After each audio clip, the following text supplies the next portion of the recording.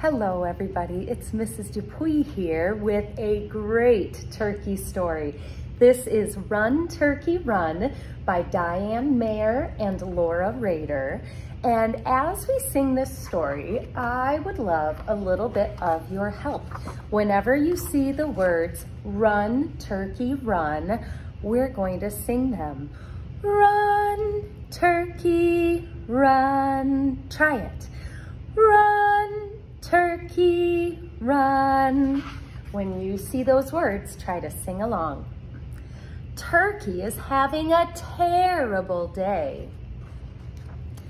It's the day before Thanksgiving, but Turkey won't be giving thanks. Not unless he manages to escape. Run, Turkey, run. Clompity clomp, here comes the farmer. Oh, see the pig pen? If Turkey rolls in the mud, will the farmer think he's a pig? No. Run, Turkey, run. Muckety muck, here comes the farmer. Look, the duck pond. If Turkey swims in the water, will the farmer think he's a duck? No. Run, turkey, run. Splashity splash, here comes the farmer. Here's the place, the horse barn.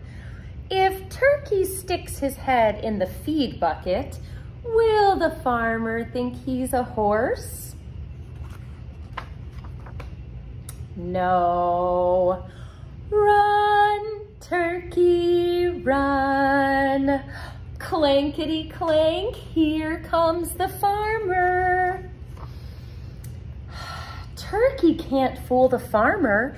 He knows his animals. What's Turkey to do? Run from the farmyard.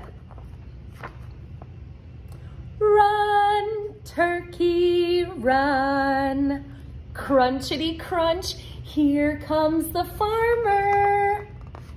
Hmm, trees. If turkey covers himself with branches, will the farmer think he's a tree? Maybe. the farmer doesn't see him. Can it be? Is turkey safe at last? Yes! Thanksgiving Day comes. The farmer and his family eat peas, mashed potatoes, and grilled cheese sandwiches. The turkey platter is empty. Turkey gives thanks. Thanksgiving Day goes. The farmer and his family are picking out their Christmas tree. Uh-oh.